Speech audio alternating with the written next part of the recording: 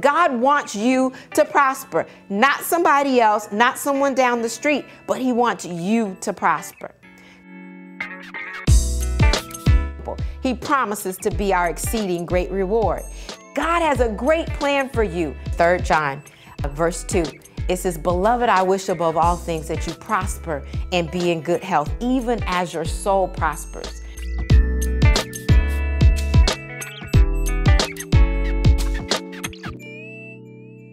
Okay, kingdom people, can I pour you some tea? You'll find a little bit more about me as I was interviewed by Gayle Guest Brown of Guest Brown Impact. Don't want to miss this because you want to know the behind the scenes, the from and the to, the before and the after, and why I do what I do, the passion behind the purpose. Yes, you want to hear this message. then we'll have uh, next up is Dr. Chonta Haynes. I hope you guys are going to go out to my brand new website and take a look, right? There's a couple of videos out there. You can connect to me so you'll be up. Hey, look who's here. Thank you for joining us today, all the way from Tampa, Florida, right? Right on right. the other side of the US. Absolutely. It is a pleasure to introduce to you today Dr. Chonta Haynes. And um, I met Chonta at a conference last, right as COVID was beginning to break out in LA. We were both there for marketing. And um, we have been fast friends and we have been connected ever since. Uh, but I know her to be a marvelous human being. One thing I love about her is she's very connected to her faith community, as she's very her business is all about um, biblically based, you know, financial practices, and so. You know, financial financial practices are good, but biblically based financial practices are even better. So it's a it's an audience that um, I've been trying to reach myself for a minute, right? Because I remember I was in Vegas one time, and I swear God sent me a message that don't forget about my people. Don't forget about kingdom people, right? I speak at a lot of different places. I go a lot of different, and I've been in a lot of different, but he said, don't forget about my people, right? I gifted you. I made you. And I want you to share your gifts in the kingdom as well. So Chonta, Chonta is doing that. And so I'm so proud to introduce her. Let me give her a little bit formal uh, introduction and then she'll be on to talk to us. Dr. Chonta Haynes is recognized and is a recognized and highly respected author, speaker, and coach with a reputation for helping individuals and organizations create quick and sustainable results. She's a biblically based money management expert. She's known for simplifying simplifying complex problems and creating actionable and effective solutions. To succeed in these challenging times, individuals and organizations turn to Dr. Chonta. I call her Chonta to provide strategies that work. Some of the reasons you can depend on Chonta is to help. Some of the reasons you can depend on her to help you put your feet on I love this saying, put your feet to your faith. There you go. Faith. And walk victoriously is she's reputable, she's experienced. I love this one. Exciting, inviting, encouraging, firecracker personality in biblical teaching since 2005. She has a lot of integrity. She does things with excellence unto the Lord. Colossians 3:24. She's resourceful and she customizes all of her, her curriculum to specifically address your needs. She is the author of many books, and she has uh, allowed us to give away just a few of them today for raffle. And so, Chonta, without any further ado, would you first tell us the books that you'd like to offer today, and then tell us a little bit more about yourself beyond these credentials? Well, thank you, Gayle. It's just such a privilege to be here. You're always, oh, my friend for life. I know we we met quick, fast, and in a hurry, and became that fast friend. The book that I'm giving away is called Not Just Paper. And Not Just Paper was a combination of teaching biblical finances for over 15 years. And I found that uh, my students would get the the theological side of it, but they weren't practically applying. So therefore, I started writing a lot more books to help them practically apply it. But I say in not just paper, money talks, and it has a lot to say about you. And we need to recognize that it should speak well of us as mm-hmm. well as the God that we serve. Mm. So that's the book that I'm giving away. And I actually have three of those that will be given away. So I'm excited about being able to put that in the hands of people to be able to change their mindset so that they get with God's economy and then start doing some things differently. Because there's some tests in there, there's a Bible study that's in there, there's a lot that's in the book. It's about 258 pages or so, but I make sure I give you a wealth of information. There's some on the shelf, a wealth of information when I do give it. But Gayle, you said introduce myself beyond what's on the page. And you know, I would say, come a little bit closer. Let me pour you some tea.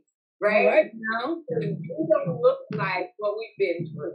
All right now, all look so cute, and you know, we got it all going going on.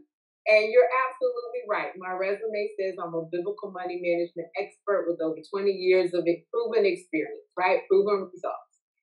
Those are the credentials, as you say, but you don't understand the crisis that we go through.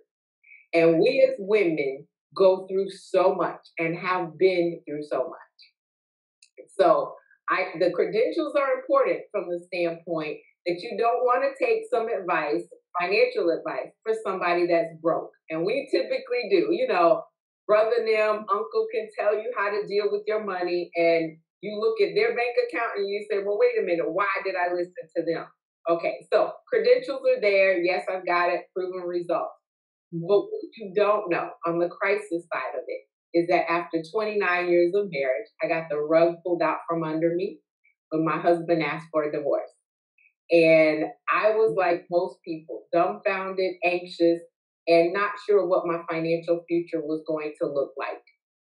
And I know how money works.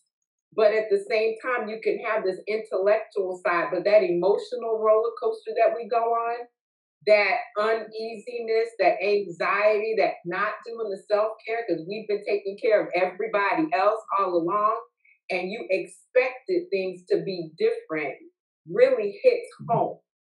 And so, even though I know the information, even though I've coached many people, I didn't think in my wildest dreams that this would happen to me.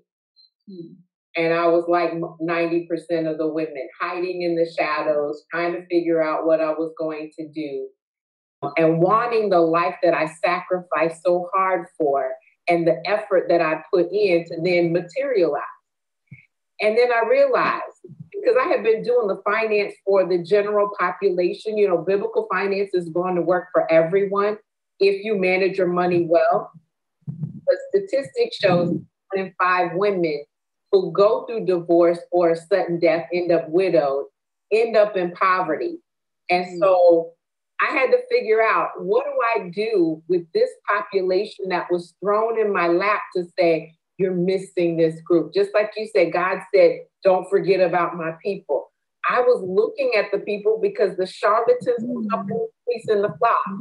And I always believe that if we are shining like jewels, people will want to know what it is that we have. If we're broke, busted, and disgusted, they have no need to want anything that we have to say, right?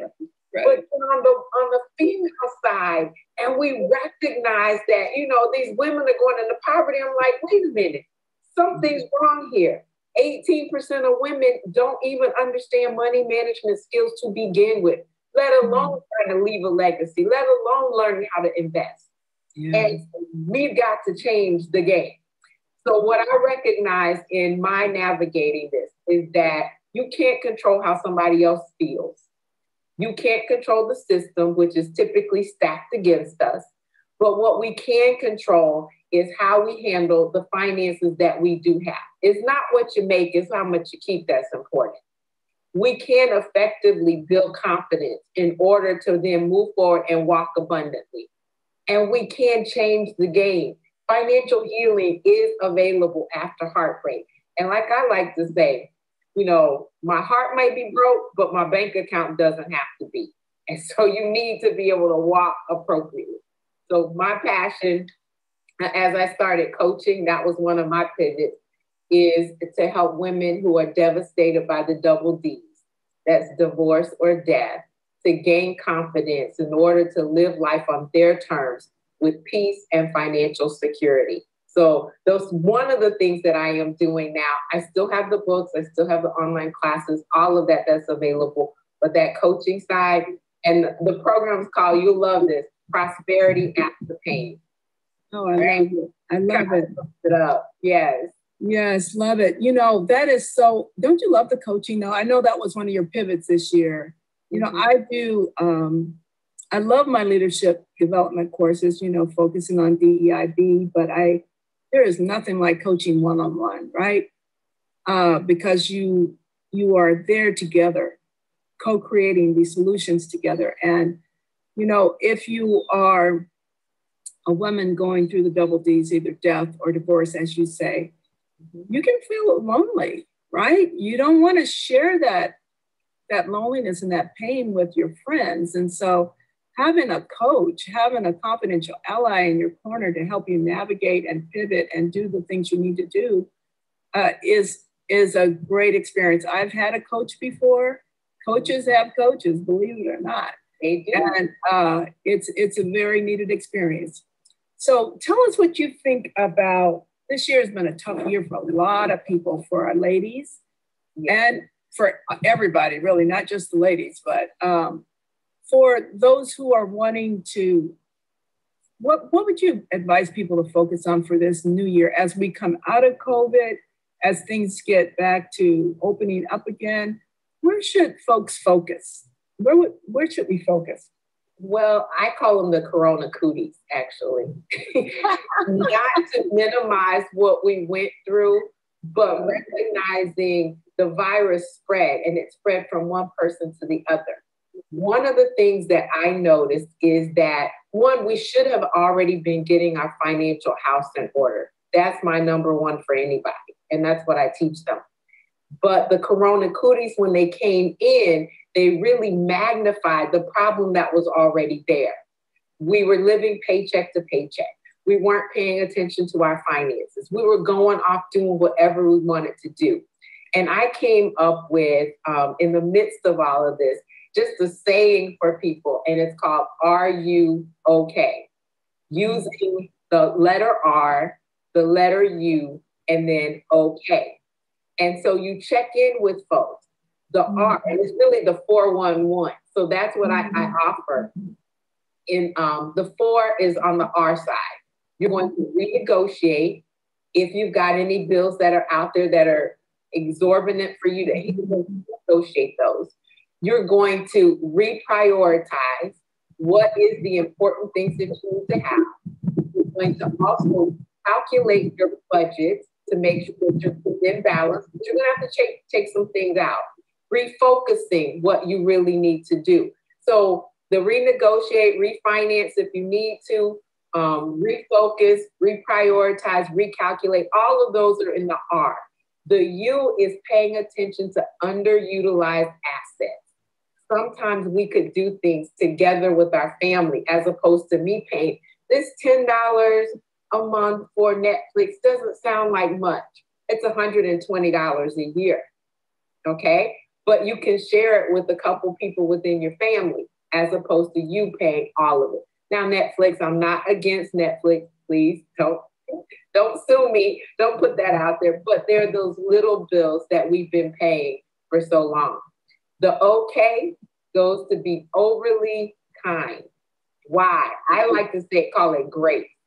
But if you give people that overabundance of kindness, because they didn't wake up thinking that they were going to try to get on your nerves. They didn't wake up trying to, you know, be in your pocket.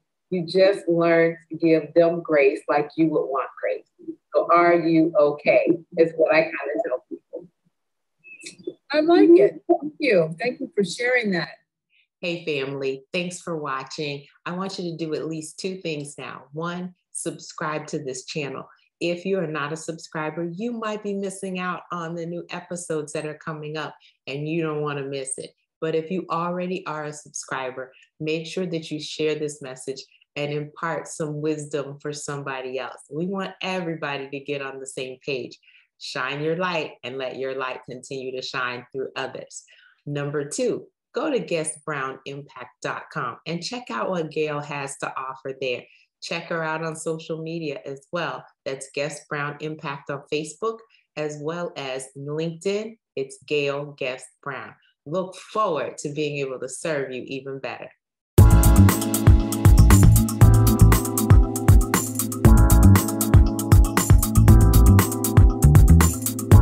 Find us online at H, the number two, h htruth.org.